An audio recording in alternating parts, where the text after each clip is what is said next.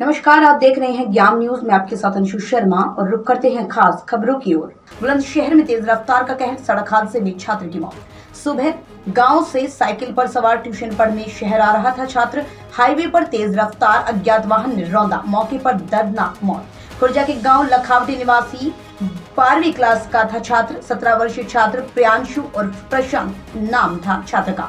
छात्र की मौत से परिवार में कोहराम मचा हुआ है, परिजनों ने पोस्टमार्टम से इनकार कर दिया है। पुलिस ने पंचायतनामा भर शव परिजनों को सौंपा। आगे की कार्रवाई में जुटी पुलिस। बुलंदशहर के खुर्जा देहात थाना क्षेत्र के एनएच क्यान में शिकारपुर बाईपास के निकट हुआ हादसा। संवाददाता अमित राणा। ये थी फ़िलहाल की कुछ खास खबरें। बाकी की खबरों के लिए देखते रहिए ज्ञान न्यूज़। नमस्कार।